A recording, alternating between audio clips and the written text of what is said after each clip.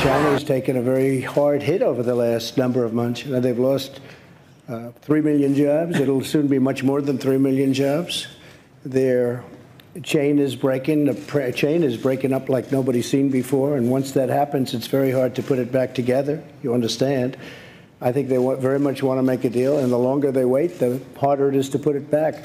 Sir, uh, can you help us uh, understand the timeline on the China calls? Were you referring to the statement by the vice? Well, we've had many calls. Uh, Or- Secretary Mnuchin is here, and you've had many calls over the last 24 hours, but certainly over the last 48 hours.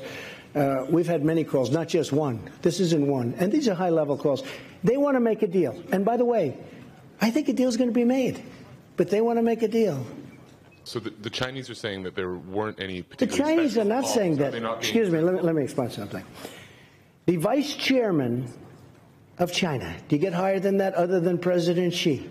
The vice president, the vice chairman, it's like the vice president, the vice chairman made the statement that he wants to make a deal, that he wants to see a calm atmosphere. He wants it all to happen. That says it there. I don't have to talk about, you know, you folks were reporting before, well, we can't find any phone call. He released a statement.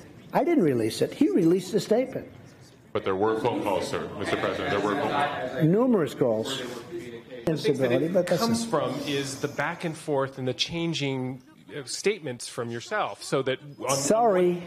It's the So- way I so my- negotiate. So my question is: Is that a strategy? Is it a strategy to call President Xi an enemy one day and then say that Yeah. relations are very No, good the next no. day, It's- and then you know, I mean, it's gone back. It's the way I and forth several negotiate. It's done very well for me over the years, and it's doing even better for the country.